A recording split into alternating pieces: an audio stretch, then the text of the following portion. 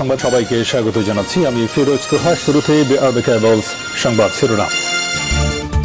শুরুতেই জানাব, এই মুহূর্তে হাতে পাওয়া সর্বশেষ গুরুত্বপূর্ণ আপডেট সংবাদ। কক্সবাজারের টেকনাফে নাসির উদ্দিন নামের এক সাবেক ছাত্রলীগ নেতাকে বৈদ্যুতিক খুঁটির সঙ্গে বেঁধে নির্যাতনের অভিযোগ উঠেছে বিএনপি নেতাকর্মীদের বিরুদ্ধে। এবারে জানাব খাগড়াছড়ি জেলা শহরের শান্তিনগর এলাকায় অগ্নিকাণ্ডে পুড়ে ছাই হয়ে গেছে উনত্রিশটিরও বেশি দোকান। মঙ্গলবার রাত সাড়ে এগারোটার দিকে তালুকদার মার্কেটে এই অগ্নিকাণ্ডের ঘটনা ঘটে বলে ফায়ার সার্ভিস ও সিভিল ডিফেন্সের খাগড়াছড়ি ইউনিটের উপসহকারী পরিচালক জাকির হোসেন নিশ্চিত করেছেন। জানাব নাটোরের বাগাতি পাড়ায় ইয়াবাসহ কাউসার আহমেদ নামের এক উপসহকারী কৃষি কর্মকর্তা সহ দুজনকে গ্রেপ্তার করেছে পুলিশ। এদিকে দলীয় সিদ্ধান্ত অমান্য করে উপজেলা নির্বাচনে যেসব এমপি মন্ত্রী স্বজন প্রার্থী হয়েছেন, তাদের বিষয়ে আওয়ামী লীগ সময়মতো ব্যবস্থা নেবে বলে জানিয়েছেন দলটির সাধারণ সম্পাদক ওবায়দুল কাদের। এবারে থাকছে সুষ্ঠু নির্বাচন হোক, কেউ ক্ষমতা দেখাবেন না। কাউকে ক্ষমতা না দেখানোর আহ্বান জানিয়েছেন নারায়ণগঞ্জ চার আসনের সংসদ সদস্য এ কে এম শামীম ওসমান। তিনি বলেছেন, আমরা চাই একটি সুষ্ঠু ও সুন্দর নির্বাচন হোক। এবং সর্বশেষ জানাব, বাংলাদেশের চাওয়া কি জানতে চেয়েছে যুক্তরাষ্ট্র। দ্বিপাক্ষীয় সম্পর্কের প্রধান পাঁচ ক্ষেত্রে উন্নয়ন এবং সহযোগিতার পাশাপাশি এর বাইরে কোনো বিষয়ে আগ্রহী কিনা মতামত জানতে চেয়েছে ওয়াশিংটন। বাংলাদেশের সঙ্গে চলমান দ্বিপাক্ষীয় সম্পর্ক আরও বিস্তৃত করতে আগ্রহ দেখিয়েছে মার্কিন যুক্তরাষ্ট্র। এতক্ষণ শিরোনাম শুনছিলেন এবার বিস্তারিত। প্রদর্শক আপনি যদি এই চ্যানেলে নতুন হয়ে থাকেন, ভিডিওটি দেখতে দেখতে চ্যানেলটি সাবস্ক্রাইব করে আমাদের সঙ্গেই থাকুন। আর এই ভিডিও সম্পর্কে আপনি আপনার মূল্যবান মতামতটি কমেন্ট বক্সে জানিয়ে দিন। আর হ্যাঁ প্রিয় দর্শক, জানিয়ে দিন ভিডিওটি কোথা থেকে দেখছেন। ছাত্রলীগ নেতাকে খুঁটির সঙ্গে বেঁধে রাখল ছাত্রদলের নেতাকর্মীরা। কক্সবাজারের টেকনাফে নাসির উদ্দিন নামের এক সাবেক ছাত্রলীগ নেতাকে বৈদ্যুতিক খুঁটির সঙ্গে বেঁধে নির্যাতনের অভিযোগ উঠেছে বিএনপি নেতাকর্মীদের বিরুদ্ধে। সোমবার দুপুর তিনটায় টেকনাফ হিনলা পশ্চিম শিকদারপাড়া এলাকায় এ ঘটনা ঘটে। ছাত্রলীগ নেতা নাসির উদ্দিন হিনলা ইউনিয়ন ছাত্রলীগের সাবেক প্রচার সম্পাদক। হিনলা ইউনিয়নের তিন নম্বর ওয়ার্ডের ফুলের ডেইল এলাকার বাসিন্দা তিনি। ছাত্রলীগ নেতা নাসির উদ্দিন বলেন, কিছুদিন আগে ইউনিয়ন বিএনপির সাংগঠনিক সম্পাদক নুরুল আজিম আওয়ামী লীগকে কটাক্ষ করে পোস্ট করে। সেটি আমার চোখে পড়লে তার পোস্টের কমেন্টে প্রতিবাদ জানায়। এরপর থেকে আমাকে বিভিন্নভাবে হুমকি দিতে থাকে। আমি সেটি খুব সাধারণভাবে নিয়েছিলাম। তিনি বলেন, আমার ছোট বোনের বিয়ের দাওয়াতের কার্ড নিয়ে এক আত্মীয়ের বাসা থেকে ফিরছিলাম। হিনলা পশ্চিম শিকদার পাড়ার পৌঁছানো মাত্র ছাত্রদলের দশ থেকে পনেরো জন আমার গতিরোধ করে মারধর করতে শুরু করে। আমাকে বাঁচানোর জন্য একজন এগিয়ে আসেনি। হিনলা ইউনিয়ন পরিষদের চেয়ারম্যান এবং ইউনিয়ন আওয়ামী লীগ সভাপতি রাশেদ মোহাম্মদ আলী বলেন একজন ছাত্রলীগ নেতাকে একটি স্টেশনের সামনে বৈদ্যুতিক খুঁটির সঙ্গে বেঁধে নির্যাতন করার যে জঘন্য আর কিছু হতে পারে না, ঘটনা শোনার পর আমরা ঘটনাস্থলে গিয়ে তাকে উদ্ধার করি। এ সময় অপরাধীরা পালিয়ে যায়। আমরা এই বিষয়ে আইনি ব্যবস্থা গ্রহণ করব। জানতে চাইলে হিনলা ইউনিয়নের ছাত্রলীগ সভাপতি হাফেজ নূর কামাল বলেন উনি বর্তমান ছাত্রলীগের কোনো কমিটিতে নেই। আগের কমিটিতে প্রচার সম্পাদক ছিলেন। খুঁটিতে বেঁধে নির্যাতনের বিষয় কিছু জানি না।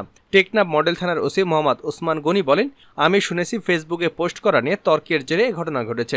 আমরা একটি অভিযোগ পেয়েছি। আমি নিজেই সরজমিনে গিয়ে বিষয়টি তদন্ত করে দেখব। খাগড়াছড়িতে পুড়ে গেছে উনত্রিশটি দোকান। খাগড়াছড়ি জেলা শহরের শান্তিনগর এলাকায় অগ্নিকাণ্ডে পড়ে গেছে উনত্রিশটিরও বেশি দোকান।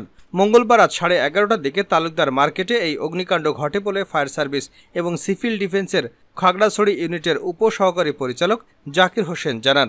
এতে কোনো হতাহতের ঘটনা ঘটেনি। জাকির হোসেন বলেন, খবর পেয়ে ফায়ার সার্ভিসের পাঁচটি ইউনিট ঘটনাস্থলে পৌঁছে আগুন নিয়ন্ত্রণে আনার চেষ্টা করে। তবে পানির সংকটের কারণে আগুন নিয়ন্ত্রণে আনতে বেগ পেতে হয়েছে।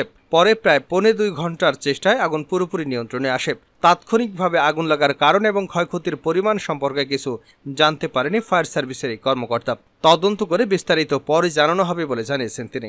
টিন এবং বেড়াত্তরি তালুকদার মার্কেটটি বেশিরভাগই গাড়ির গ্যারেজ একই সাথে মুদিমাল এবং চায়ের দোকান ছিল।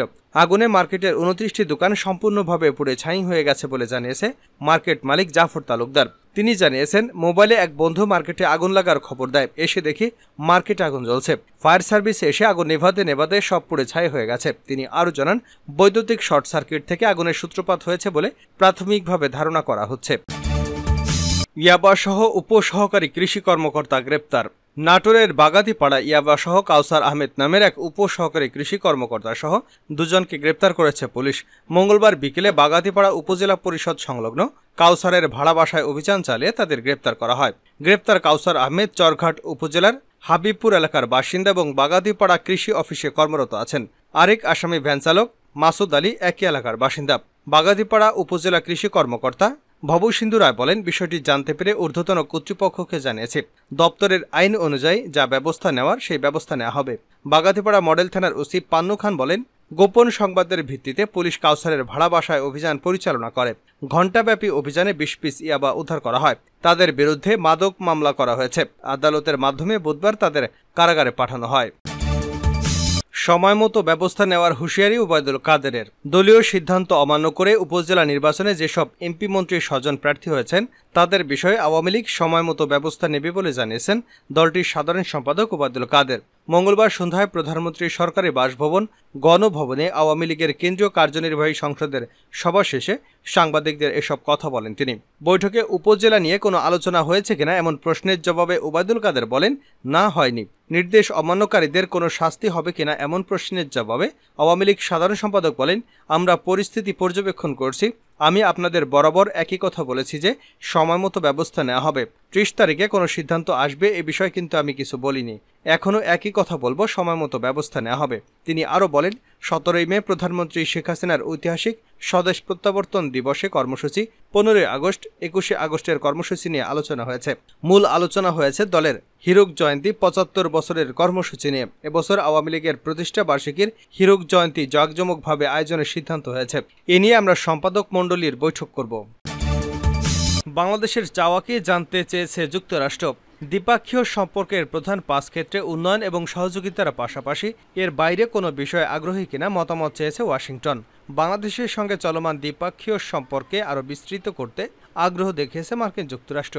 তারই পরিপ্রেক্ষিতে মঙ্গলবার ঢাকায় অতিরিক্ত পররাষ্ট্র সচিব ডক্টর মোহাম্মদ নজরুল ইসলামের সভাপতিত্বে বাংলাদেশ যুক্তরাষ্ট্র দ্বিপাক্ষিক সম্পর্ক নিয়ে একটি আন্তমন্ত্রণালয় সভা হয়।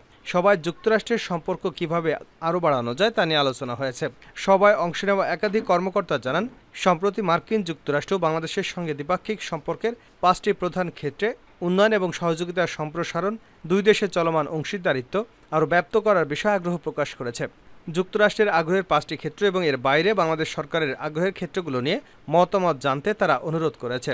ঢাকার এক দায়িত্বশীল কূটনৈতিক বলেন মার্কিন প্রেসিডেন্ট জো বাইডেন প্রধানমন্ত্রীকে যে চিঠি লিখেছেন, সেখানে বলা আছে, দেশটি কোন কোন খাতে আমাদের সঙ্গে কাজ করতে আগ্রহী? যুক্তরাষ্ট্রের সঙ্গে আমরা যে বিষয়গুলো নিয়ে কাজ করতাম, সেগুলোর ব্যাপ্তি আরও কীভাবে বাড়ানো যায়, তা আলোচনা হয়েছে।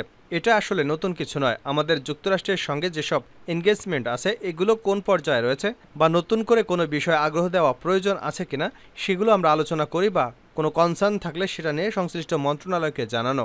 যুক্তরাষ্ট্রের আগ্রহের পাঁচটি খাত সম্পর্কে এক কূটনৈতিক বলেন, যুক্তরাষ্ট্র যে বিষয়গুলো গুরুত্ব দিচ্ছে তার মধ্যে একটি অর্থনৈতিক যোগাযোগ বাড়ানো, পরিবেশগত সুরক্ষা এবং জলবায়ু পরিবর্তন, এক্ষেত্রে প্রযুক্তি হস্তান্তর এবং বিনিয়োগের বিষয় রয়েছে। তৃতীয়ত নিরাপত্তার সহযোগিতা, এটার মধ্যে অ্যান্টি টেরোরিজম অ্যাসিস্ট্যান্ট রয়েছে, পুলিশ জারবে তহবিল রয়েছে, সমুদ্র নিরাপত্তা সংক্রান্ত অংশীদারিত্ব ইস্যু রয়েছে, তারপর মানবিক সহায়তার বিষয় রয়েছে, যার মধ্যে রোহিঙ্গাদের সহায়তার বিষয়যুক্ত। এছাড়া, রাইট ইস্যুস আছে। এর মধ্যে মানবাধিকার, গণতন্ত্র এবং লেবার রাইটস ইস্যুস আছে। বাংলাদেশের দ্বাদশ জাতীয় সংসদ নির্বাচনে বেশ সরব অবস্থানে ছিল মার্কিন যুক্তরাষ্ট্র। ভোট শেষে নিজেদের অবস্থান স্পষ্ট করে ওয়াশিংটন জানায়, নির্বাচন অবাধ এবং সুষ্ঠু হয়নি। পরবর্তী সময়ে ভোট নিয়ে নিজেদের অনর অবস্থানে জানান দিলেও বাইডেন প্রশাসন বাংলাদেশের নতুন সরকারের সঙ্গে কাজ করতে আগ্রহ প্রকাশের কথা জানান খোদ ঢাকা নিযুক্ত দেশটির আলোচিত রাষ্ট্রদূত পিটার হাস।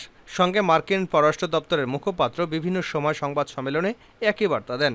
তবে বিষয়টি আরও স্পষ্ট হয় প্রধানমন্ত্রী শেখ হাসিনাকে লেখা মার্কিন প্রেসিডেন্ট জো বাইডেনের চিঠিতে। চিঠিতে মার্কিন প্রেসিডেন্ট বলেছেন, বাংলাদেশের অর্থনৈতিক লক্ষ্য অর্জনে একসঙ্গে কাজ করতে আগ্রহী তার সরকার। ফেব্রুয়ারির শুরুতে বাইডেনের চিঠির পর ওই মাসের শেষের দিকে ঢাকায় সফর করেন মার্কিন প্রেসিডেন্টের বিশেষ সহকারী এবং দেশটির জাতীয় নিরাপত্তা পরিষদের দক্ষিণ এশিয়া বিষয়ক জ্যেষ্ঠ পরিচালক এইলিন লাউবাখের নেতৃত্বে একটি প্রতিনিধি দল।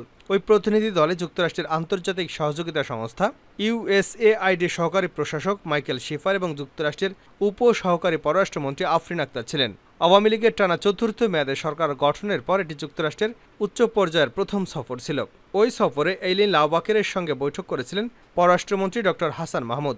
বৈঠক শেষে ডক্টর হাসান জানিয়েছিলেন, তারাও চায় বাংলাদেশের সঙ্গে সম্পর্কে নতুন অধ্যায় এবং আমরাও চাই একটি নতুন সম্পর্ক। যেহেতু দুদেশেরই সদিচ্ছা আছে, সুতরাং এই সম্পর্ক ঘনিষ্ঠ, গভীরতর এবং উন্নয়নের মাধ্যমে আমাদের উভয় দেশে উপকৃত হবে। অন্যদিকে বাইডেনের বিশেষ সহকারী জানিয়েছিলেন, বাংলাদেশের সঙ্গে সম্পর্ক এগিয়ে নিতে মার্কিন প্রতিনিধি দল ঢাকা সফর করছেন।